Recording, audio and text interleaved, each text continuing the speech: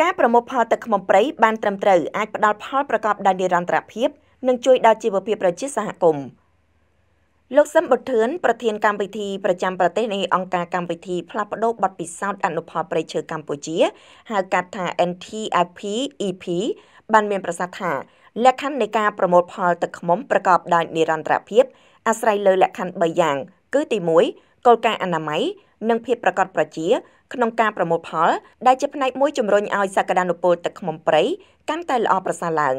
លោកបញ្ជាក់ថាការប្រមូលផល គឺយើងមិនយកទាំងសម្បុកទាំងកូននោះទេហើយការជាយកក្បាលទឹកគឺត្រឹមប្រមាណតែ75ទៅ80%ប៉ុណ្ណោះដែលរក្សា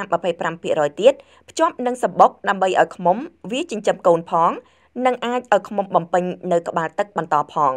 ដែលត្រឹមមួយខែបន្ទាប់បងប្អូនយើងអាចទៅយកម្ដងទៀតបាន ហើយឃ្មុំមួយសម្បុកយើងអាចប្រមូលផលបានដល់ទៅ3ដងលោកបន្តថាដោយឡែកការយកឃ្មុំវិញយើងត្រូវញែកក្បាលទឹកដោយប្រើកាំបិតឈើដើម្បីកាត់យកក្បាលទឹកដោយមិនត្រូវកាត់យកសម្បុកកូនឬកាប់ទាំងបង្កងនោះទេជៀសវាងធ្វើឲ្យឃ្មុំផុតពូជចំណែកឯការប្រមូលទាំងសម្បុកគឺការជាប្រមូលមិនមាននិរន្តរភាព ដោយសារការខ្មុំសម័យមុន គេប្រើកុបភ្លើងអាចធ្វើឲ្យងាប់មេខ្មុំ ហើយបើយកទាំងសម្បុកមានកូនក៏ធ្វើឲ្យដាច់ពូជកូនខ្មុំផងដែរពាក់ព័ន្ធទៅនឹងគុណភាពវិញលោកប៊ុនធឿនបានលើកឡើងថាទឹកខ្មុំដែលមានគុណភាពគឺតកតងនឹងកត្តាអាកាសធាតុប្រសិនបើពុំមានភ្លៀងធ្លាក់មុនរដូវនោះទេទឹកខ្មុំមានសភាពខាប់ល្អដែលមានកំហាប់សំណើមក្នុងទឹកខ្មុំត្រឹម18ទៅ19%នោះជាទឹកខ្មុំមានគុណភាពល្អ ប្រសិនបើមានភ្លៀងធ្លាក់ច្រើនចំពេលខ្មុំក្រេបផ្កាឬក៏រដូវប្រមូលផលនោះទឹកខ្មុំអាចរាវនិងថយចុះគុណភាពបន្តិចដែលមានកំហាប់សំណើមត្រឹម22ទៅ23%ប៉ុណ្ណោះលោកបញ្ជាក់បន្ថែមថាទឹកខ្មុំដែលមានសភាពរាវមិនមែនវាជាទឹកខ្មុំមិនសុទ្ធនោះទេ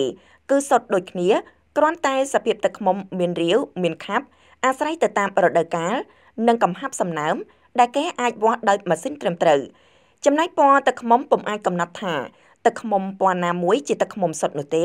ដោយសារទឹកខ្មុំមានច្រើនប្រភេទហើយពណ៌របស់ទឹកខ្មុំអាចខុសគ្នាទៅតាមតំបន់ដូចជាខេត្តក្រចេះស្ទឹងត្រែងមណ្ឌលគិរីព្រះវិហារកោះកុងជាដើមដោយភាគច្រើនទឹកឃ្មុំដែលមានពណ៌ស្អាតគឺមកពីខេត្តមណ្ឌលគិរី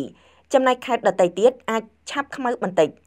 សម្រាប់ទឹកឃ្មុំខេត្តមណ្ឌលគិរីនេះទៀតសោត ក៏ជាឱសថមួយដ៏មានប្រសិទ្ធភាពដោយសារនៅតំបន់នោះឃ្មុំអាចប្រកបយកលំអងព្រៃបានច្រើនប្រភេទពោលគឺច្រើនជាងខេត្តដទៃទៀតប៉ុន្តែគុណភាពគឺសុទ្ធដូចគ្នាផ្អែមដូចគ្នា